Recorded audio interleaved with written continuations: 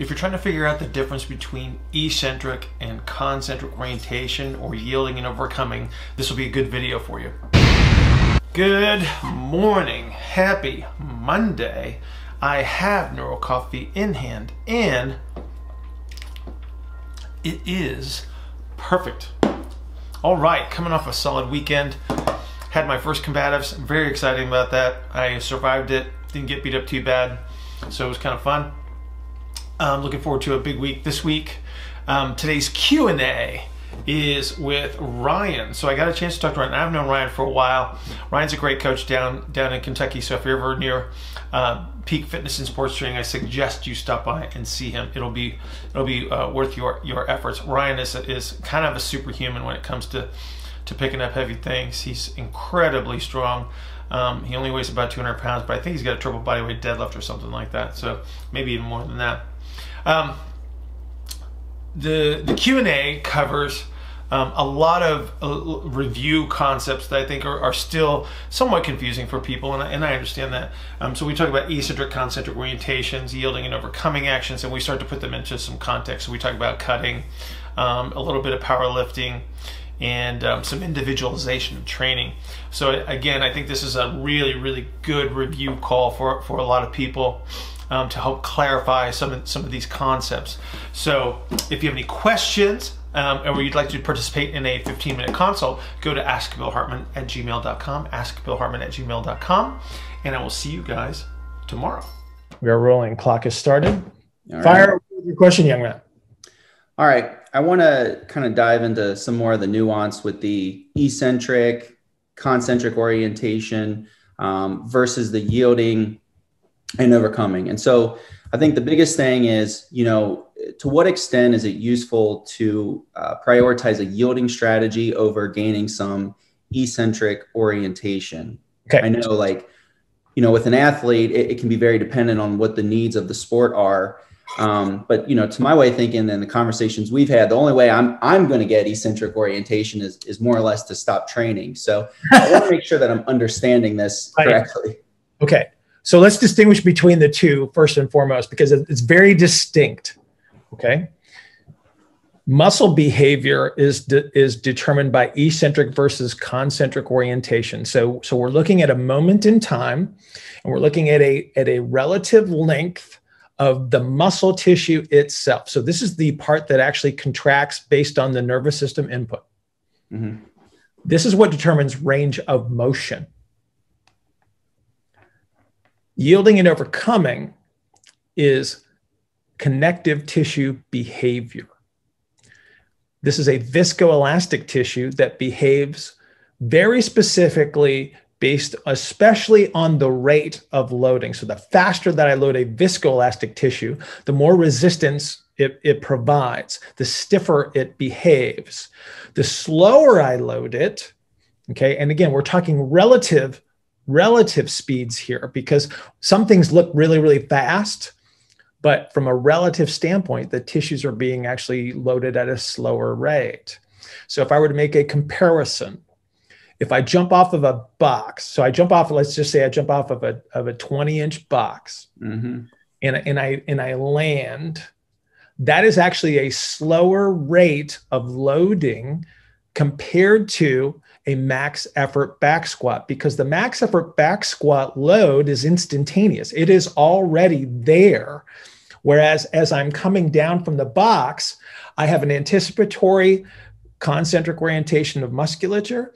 And then as I make my initial contact, like where I barely touch my toe. So again, we have to we have to look at this thing in really slow motion. You look at the duration of the exposure to get to the point where the maximum load is applied based on the on the force production. There's a lot of time in there compared to an instantaneous load with, with a heavy weight right so so that distinguishes the two elements of behavior like i said a lot of people get confused because we, we talk about a yielding action when we're going into and out of a cut, which looks really, really fast. And it is, visually speaking, it is very, very quick.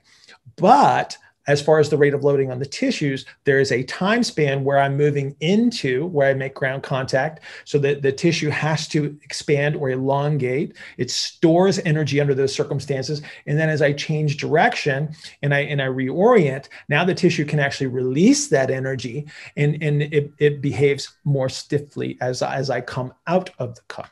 Okay. Does that mm-hmm. help you distinguish between the two? Yes. Okay. Now, so if you have a situation where you have a great deal of concentric orientation, that's where you're going to see the greatest movement and limitations. So goal number one then is to create greater eccentric orientation to allow more motion to occur if that's the goal.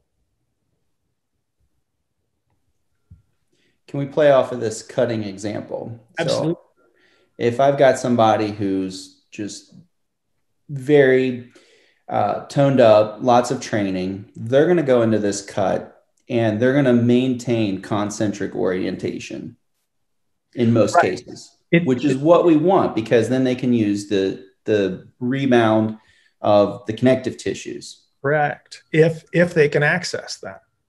Yes. If what if there is not um, they're so concentric that their ability to load the cuts is ineffective.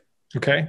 So so look at it at, at the two ends. So so if I am let's just say I'm concentric overcoming. Mm-hmm.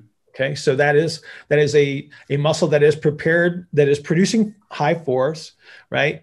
And the connective tissues are are stiff. So as I go into the cut, it's I don't I don't yield as much. So the amount of energy storage that I use is somewhat limited, but my ability to come out of the cut is not. But the problem is, is that I never got the initial storage in the first place. So that's going to kind of slow me down coming out of the cut. Now, let's take an opposing example where if somebody that that doesn't create the stiffness as well. So they go into the cut, they absorb this massive amount of energy, and they're slow coming out of the cut because they can't turn it around and, and release that energy, right?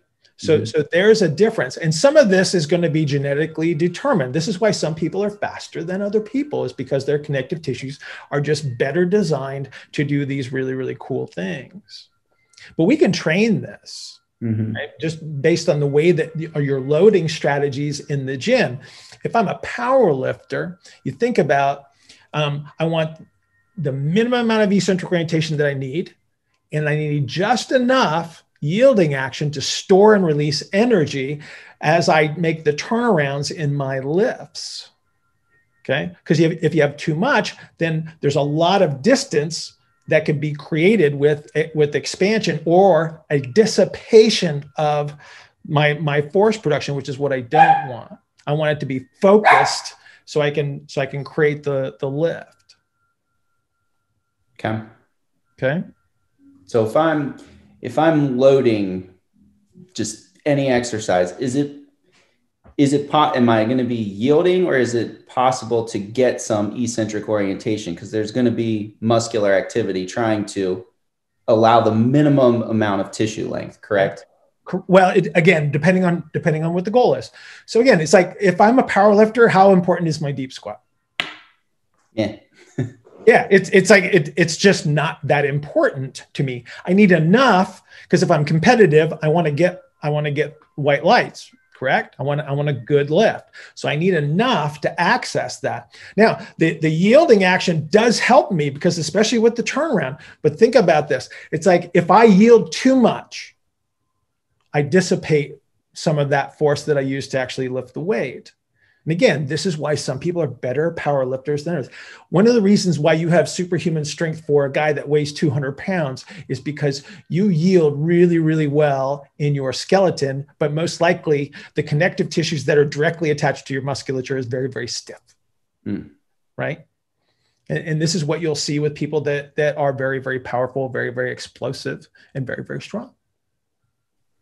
Right. The stiffer the tissue, right if i can if i can get it to yield it mm-hmm. releases more energy right it's just it's look just go into the gym and just check your rubber bands if you take the if you take the skinniest rubber band that you have and the fattest rubber band that you have and now it's easier to stretch the skinnier rubber band But mm-hmm. if I could stretch the fat rubber band the same distance, which one releases more energy?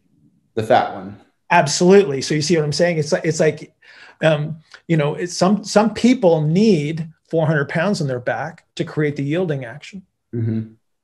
And you'll see this, and and uh, you'll see an improvement in in someone's squat you know visually the the representation of their technique will improve under the heavier loads because it is actually helping them to create the yielding action that they need so i want to take it to somebody who's got a little bit different needs than a powerlifter say like a pitcher they need they're trying to produce a ton of um, propulsion in a very short time but they need they need the time to yield correct? Correct.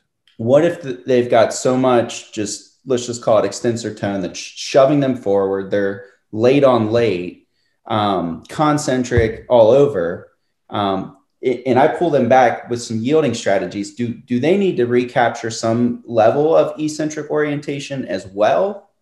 Maybe i mean we always have to look at these people as individuals mm-hmm. and, that's and that's been a problem because everybody says, okay, you're you're a right-handed pitcher. You need to be on the right-handed pitcher program, right? Mm-hmm. So they treat all pitchers the same, which is not true, unfortunately. Right. Because if I take a pitcher that's five foot 10, 225 pounds, and I have a pitcher that is six foot five, 215 pounds, I got news for you. They produce the, the velocity in different ways. One needs a little bit more time, one doesn't turn as well, and the other one needs to, to um, be able to compress very very quickly mm-hmm. right but he has more time so again we can't we can't treat them the same way. We have to say oh you do it this way and you do it this way and then we try to provide them the access to their potential. And that's why this is hard though. So it's like it's like you and i are having this conversation and you go oh that kind of makes sense. Yeah. and then you go and you look at a real human and you go uh-oh now what do i do? Right? Yeah but the, the principles don't change. It's just a matter of getting to know someone. So somebody walks in the door it's like i don't know exactly what to do with them. I get an idea and then we mm-hmm. do something and then we see what happens and then we based on that we do the next thing. And then based on that we do the next thing. People think that they can predict what's going to happen and i would respectfully disagree. It's like i think we need to actually train these people over time and that's how we figure this stuff out yeah. So I think one of the mistakes, or at least the lens I was looking at in the past, I thought I was, you know, recapturing some some range of motion that was maybe eccentric orientation when I was doing unilat- unilateral work, but I was just getting better at yielding. Quite possibly. So again, it's like it's like the the what, what you need to look at is is you have to to have some form of key performance indicator that you're going to measure against. You do your intervention and then you remeasure and you say okay what happened under those circumstances? This is how this is how training should be because it's incredibly complex. There are there are things that are going on in training that we have no idea about. Mm-hmm. I, I am convinced of this. We have no idea. We, we don't even know what what's taking place but we have observations that we can use to say okay that was a good thing or that wasn't such a good thing. And then what we want to do over time is do a whole lot more good things and a whole lot less of the stuff that that doesn't either seem to matter or creates a negative consequence right? Everybody everybody thinks that, that there's like a cookbook. You go oh okay uh, um, you do this you do this you do this. And then good things happen. It's like no like you could do that, you know, again, you put everybody on the right-handed pitcher program that's a right-handed pitcher. It's like, okay, three or four guys are going to do really well. Three or four guys are not going to do well at all. And then everybody kind of falls in the middle, you know, and we accept, we accept favorable change for the best favorable change. And I respectfully disagree about that too. So I don't know if I created more confusion for you. Maybe I got one, one tag along question. I think you can okay, answer. Go ahead. Uh, super compressed pitcher needs yep. to yield, yep. um, or a young athlete who's maybe um, just doesn't manage gravity well, but they also need to add muscle mass and add size to produce for better force production because they're still underpowered. Okay. How, you, how, how, are you measuring underpowered relative to what? Um, you know, in the case of a pitcher, I'd say maybe their, you know, their arm strength is low or Um, again, how are you measuring? Like, what's the comparison to determine that that one they have the potential for it, and number two, um, like, like again, how do you know? I mean, versus, I mean, I understand that you can measure pitching velocity and things like that, Right. and there's any number of parameters. But again, it's like, what are you using to determine this? Like, like what oh, is? so I I would say maybe relative to peers. You know. Okay, but, but again, you can't compare them to anyone but themselves. So there, there, there, I think lies lies a little bit of the problem. Mhm. You know, because genetically speaking, we just don't know. Right. And so again, I, I would encourage you to, to look at this from a process oriented standpoint. It's like, it's like, okay, if, if you think that he needs greater force production, if you think more muscle mass is the answer, do that and then see what happens. I'm totally okay with that. Right. But you better have some form of, of indicator to follow that's going to let you know very, very quickly. Sorry. If, if we're on the wrong path, we need to make a, make a, a change very very quickly right Perfect. i think i think again the experience of working with people over time is is is one of those elements that that is lacking because again people are looking for yes and no answers black and white solutions when the reality is it's like we are so gray it's not funny. It's like if, if, if you say okay this kid is underpowered we need to add force production go ahead and add force production but like I said, have something that you're measuring against so you know that if I accidentally take something away that was that was important, you know, if you take you take range of motion away from somebody that needs you know as much range of motion as a pitcher does, right? Did you help? You know, and there's probably times where, you know, adding force production, especially through their levels of uh, there's differing levels of maturity where it's Mhm. going to be like like absolutely. We got to drive tons of force production. I want to drive drive his ability to, to lift heavy things through the roof because i know it's going to contribute to performance. But that's not everybody. You can't put everybody on that same program because they're all at different places. Okay. Okay? That was great. good. I, Yeah. I hope it's helpful. Um, if it, you know if you have questions just just send me an email. You know how to get a hold of me. We'll do. yeah. Or, Thanks, or post post them up in the uh, facebook group Okay. Sounds Right? good. I'll do that. all right Thank you brother so have a great day good to see you right. Bye.